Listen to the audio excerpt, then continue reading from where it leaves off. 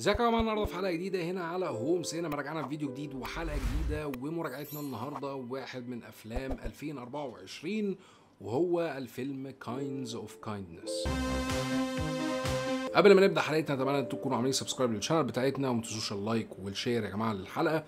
ويلا بينا نبدأ. فيلم Kinds of Kindness هو من كتابة ومن إخراج المخرج المجنون يورجوس لانثيموس اللي كان آخر فيلم إحنا شفناه برضو آه، من فترة كان السنة اللي فاتت تقريبا كان Poor Things الفيلم اللي كان برضو من بطولة ايما ستون معانا برضو في بطولة فيلم Kinds of Kindness عندنا ايما ستون جيسي بليمنز ويليام دافو مارجريت كوالي وهونج تشاو وعندنا ممدوح آثي. تدور أحداث الفيلم شخصية روبرت وهو الشخصية اللي بيحاول يتخلص من حياته الروتينية اللي دايما متعود عليها. كل يوم دايما بيعمل نفس الموضوع ونفس الحاجة وشغله الروتيني. حاول كل يوم إن هو يوصل لشخصية ريموند الشخصية اللي دايما بيشوفها هو في مثل أعلى. وبتبدأ تحصل مشاكل ما بينهم هما الاثنين لأنه بتتورط معاه حياته. بس الموضوع معقد شوية دايما كأنواع أفلام يورجوس لانثيموس بيبدأ يشك في مراته شخصيا إن هي ممكن تكون على علاقة مع ريموند اللي هو الشخصية بتاعتنا اللي هو ويليام دافو. فبتبدأ تحصل مشاكل ما بين الشخصيتين.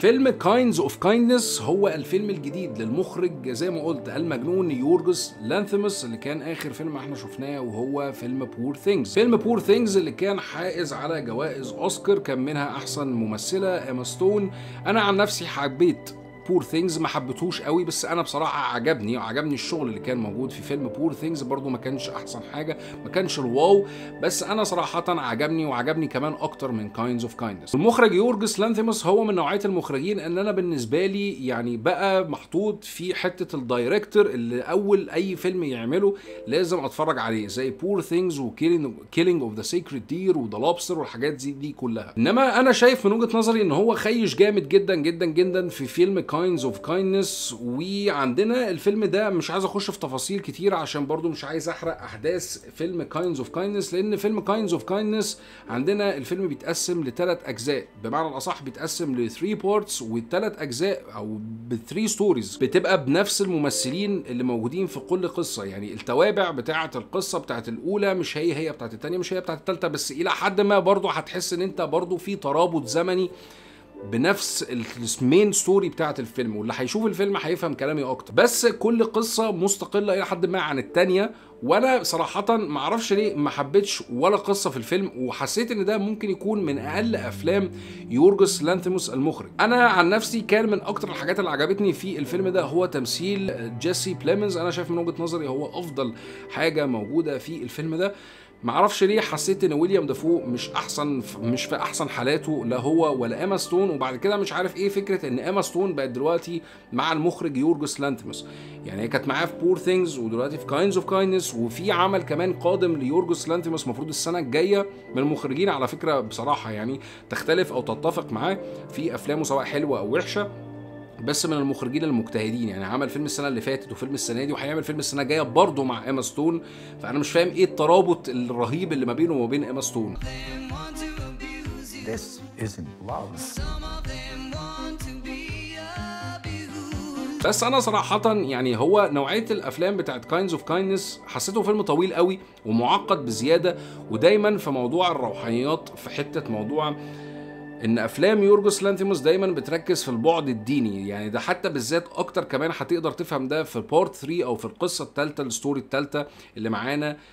طبعا مش هخش في الأحداث مش هحرق طبعا عشان برضو اللي حابب يتفرج. بس ال story الثالثه برضو تحس إنها معقدة بزيادة ودخلوا في موضوع حاجات دينية قوي بزيادة. يعني حسيت اللي هو no يعني ما خلاص يعني أنت كده بصراحة يعني مش فاهم أنت في إيه. لأن دايما أفلام يورجس لانثيموس دايما بتركز على البعد الديني حتى في الأفلام القديمة زي Killing of the Sacred Deer مثلا و Poor Things بس طبعا بتبقى رسائل مخفية من تحت لتحت ومش بيجيبها لك direct في وشك.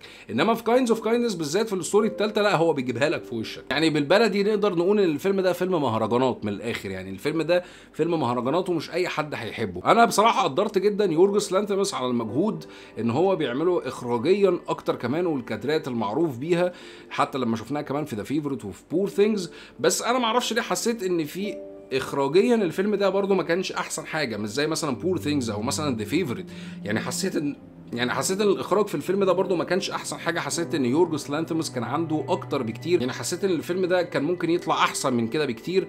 ولكن الفيلم أنا شايف إن الفيلم طويل. يعني الفيلم طويل فشخ.